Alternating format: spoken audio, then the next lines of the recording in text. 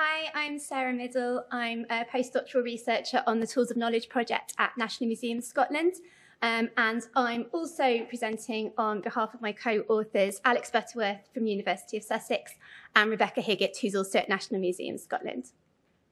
Um, I'm going to start by giving an introduction to the Tools of Knowledge project, our database and how we modelled it, and then introduce concepts of object biographies and itineraries. I'll then present three case studies in object itineraries um, before talking about our conclusions and future work in the area. So the full name of the project is Tools of Knowledge, Modelling the Creative Communities of the Scientific Instrument Trade in Britain, 1550 to 1914. Um, it's funded by the Arts and Humanities Research Council, originally um, between January 2021 and June of this year, um, but we've recently been extended up until the end of December this year. It's a collaboration between the Universities of Cambridge and Sussex and National Museums Scotland, and we're also working with partner institutions, Royal Museums Greenwich and the Science Museum. At the foundation of our project is a database developed by Gloria Clifton at Royal Museums Greenwich called Scientific Instrument Makers Observations and Notes, or SIMON for short. It started with Gloria filling out information about scientific instrument makers by hand on printed index cards, which she later input into a Microsoft Access database, which formed the basis of the printed publication Directory of British Scientific Instrument Makers, 1550 to 1851. Um, Gloria has further expanded the Access database to include information about makers up to 1914, with some careers extending beyond this date. And the database now includes over 11,000 makers with about 40 different types of relationship. So the current Simon database is extremely rich, but it's also not openly available. Um, to access it, you need to go to Greenwich in person, and it can be difficult to use without Gloria's expert assistance. Also, as we discovered only gradually, a vast amount of really interesting and useful data appears in unstructured free text fields called helpful things like MISC info. And so it's not readily discoverable, even if you know how to query the database.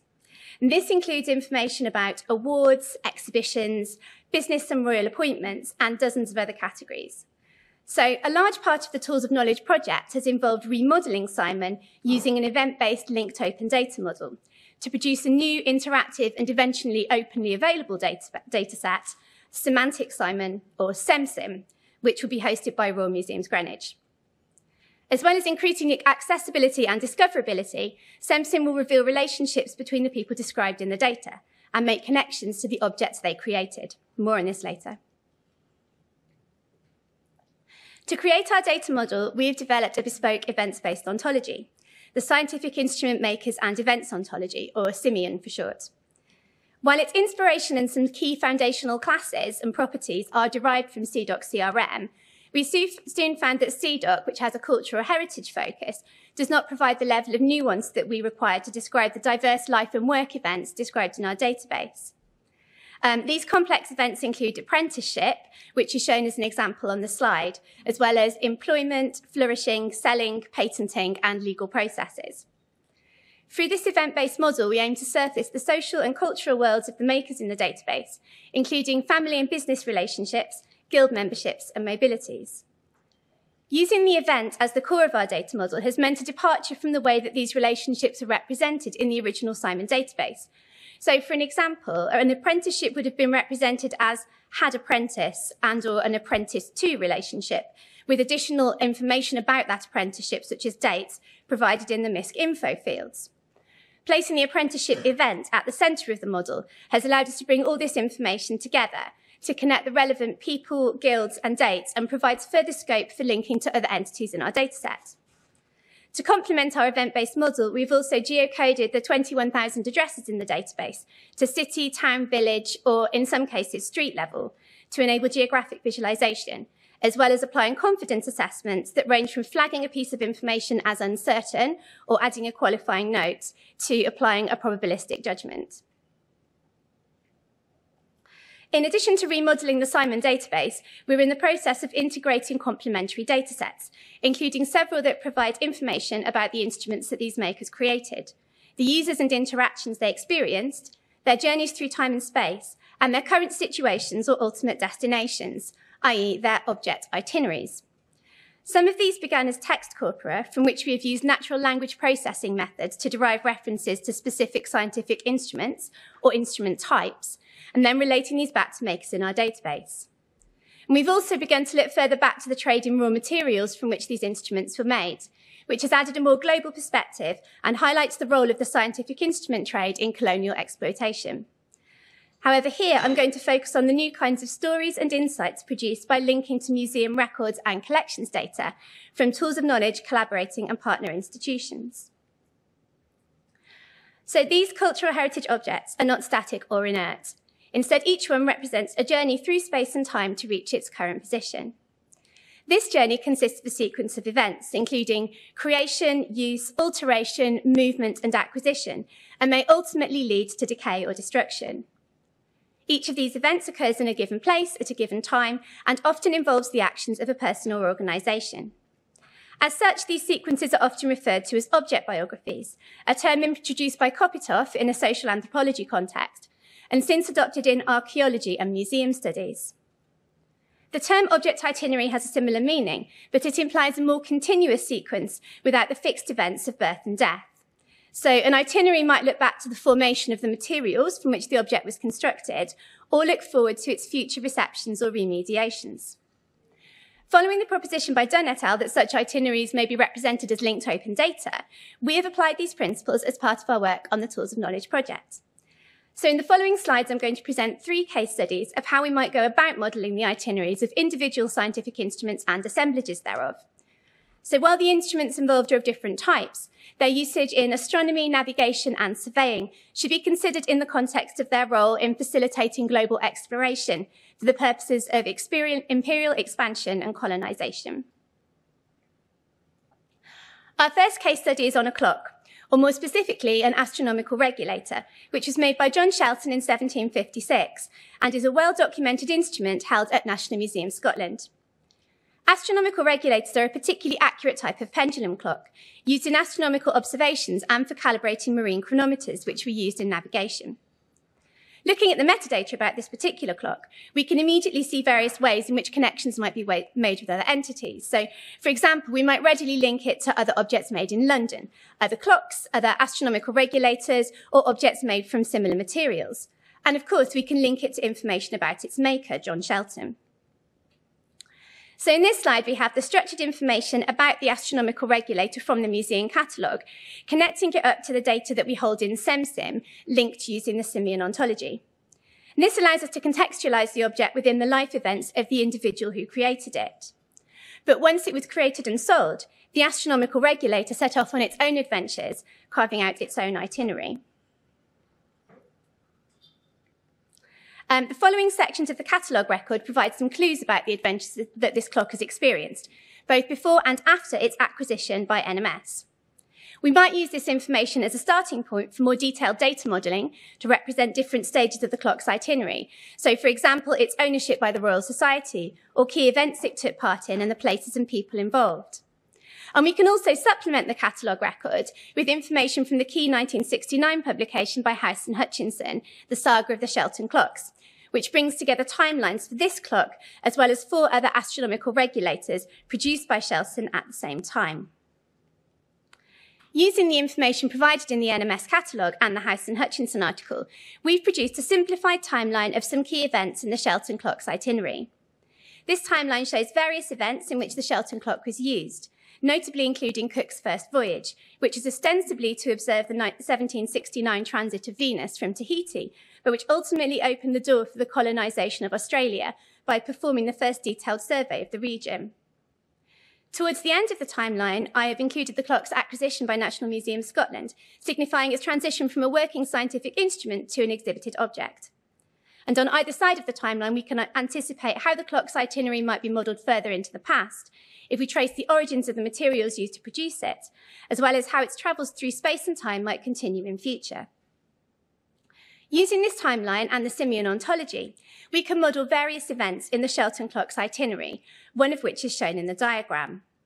This particular event is the voyage of the Chanticleer, which surveyed multiple locations in the Pacific Ocean, including many British colonies, and it took place between 1828 and 1831. The Shelton clock's, Shelton clock's use in this expedition is documented in an inscription that appears on its hour disc. While this expedition is interesting in itself, it also highlights the relationship between the Shelton clock and another type of timepiece, one which was crucial to navigation by allowing the accurate calculation of longitude.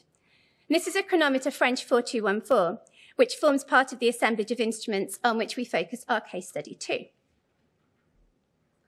So chronometers are highly accurate timekeepers that we use to calculate longitude on board ship by comparing local time with Greenwich time and thereby obtaining a precise location and as such, they accompanied most naval expeditions from the early 19th until the later 20th century.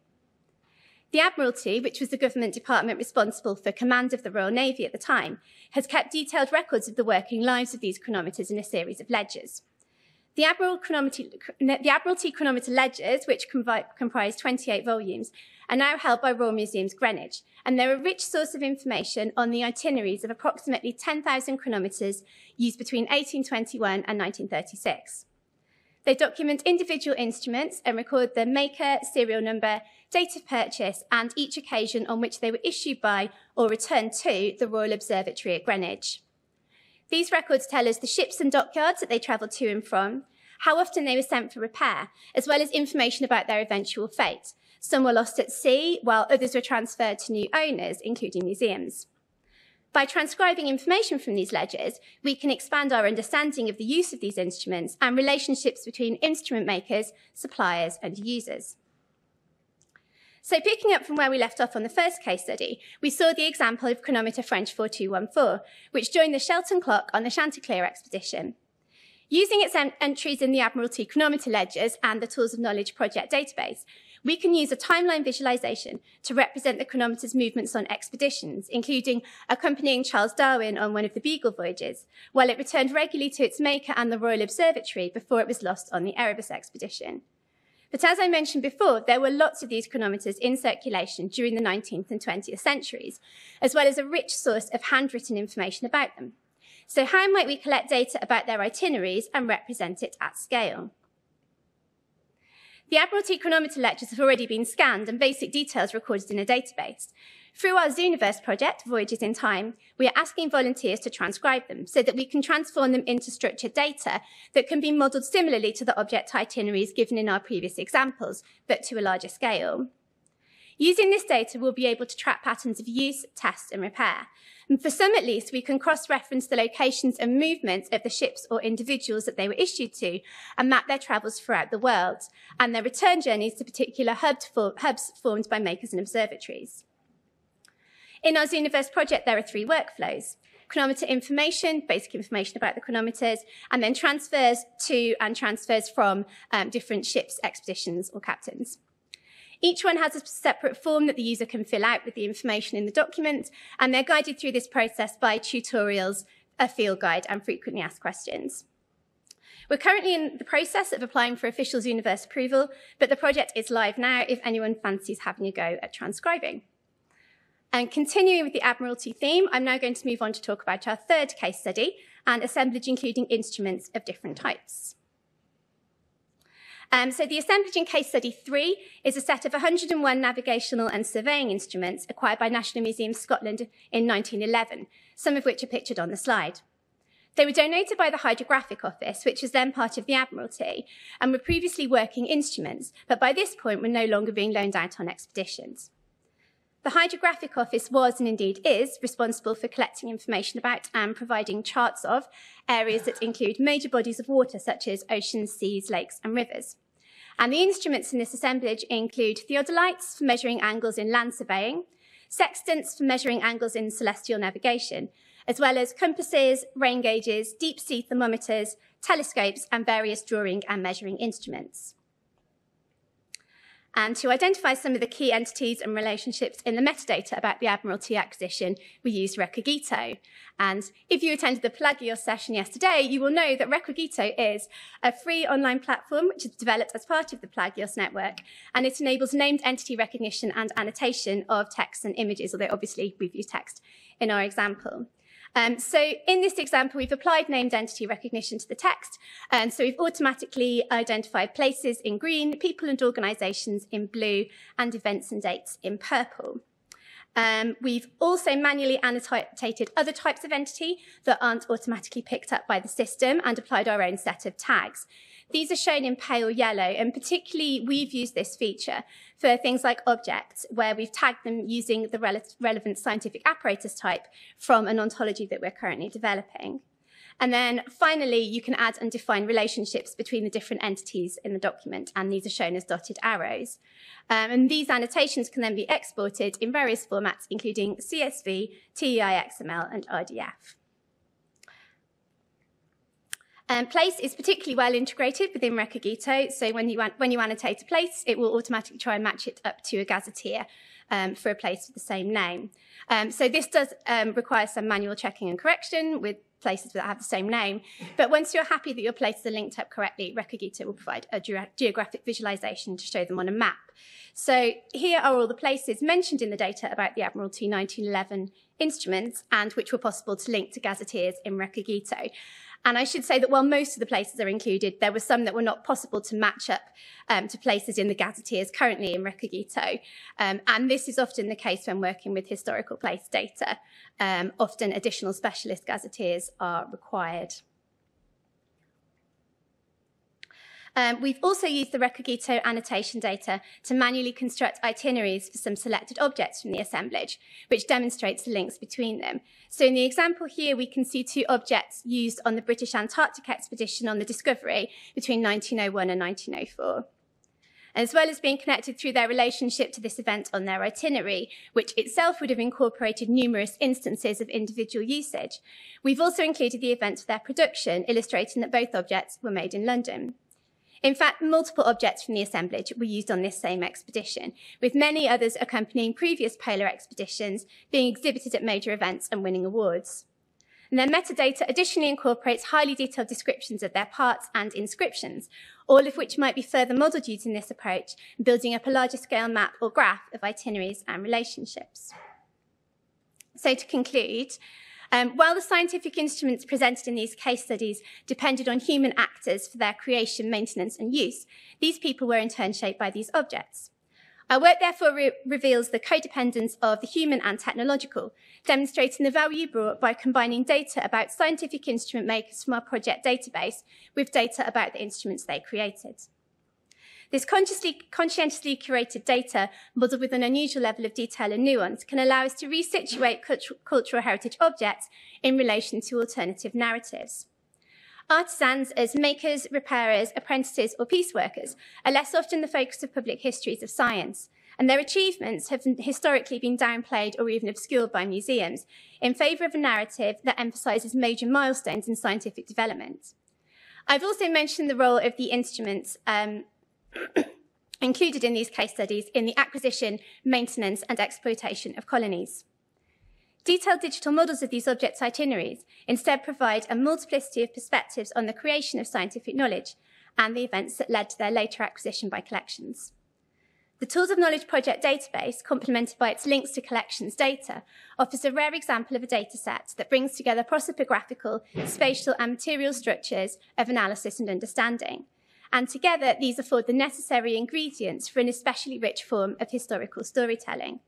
However, at the moment, we've only been able to construct these rich itineraries manually and are keen to explore the scalability of this approach over our remaining time on the project while being sensitive um, to their particular historical contexts.